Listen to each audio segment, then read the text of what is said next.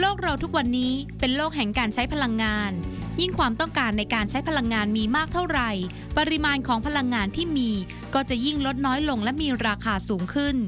จึงไม่ใช่เรื่องแปลกที่หลายหน่วยงาน จะเริ่มหันมาคิดค้นและพัฒนาสิ่งรอบตัวที่มีผลิตเป็นพลังงานทดแทน เช่นเดียวกับที่หมู่บ้านเขาน้อยจังหวัดพิษณุโลก ชาวบ้านที่นี่ถึงกับยอมทิ้งแก๊ส LPG หรือแก๊สหุงต้มในครัวเรือน แล้วเปลี่ยนมาใช้ไบโอแก๊สแทน ไบโอแก๊สหรือแก๊สชีวภาพ ก็คือพลังงานชีวมวล เกิดจากการหมักย่อยสลายสารอินทรีย์ที่มีอยู่ในของเสีย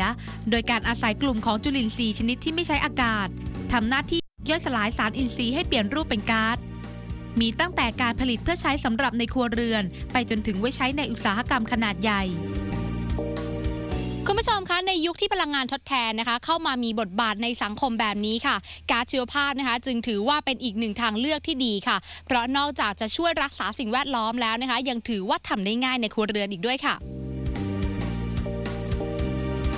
ด้วยความที่ก๊าซชีวภาพ มีองค์ประกอบหลักคือก๊าซมีเทนอยู่ประมาณร้อยละ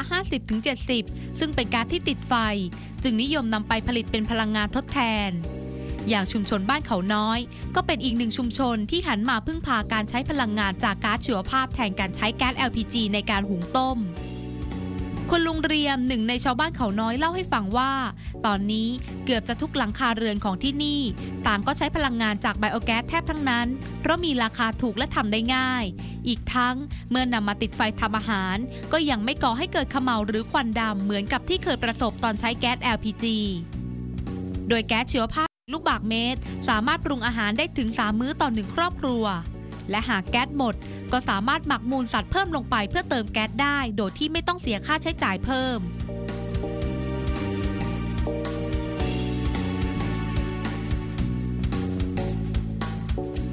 ขั้นตอนทำนะเยอะแต่การหมักก็ไม่ไม่ได้ยุ่งยากครับผม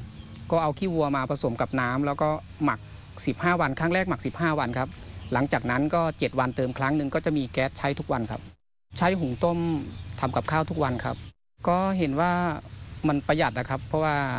ตอนนี้ใช้แก๊สจากขี้วัวร้อยเปอร์เซ็นต์แล้วครับ เพราะว่าขายถัง LPG ไปแล้วครับ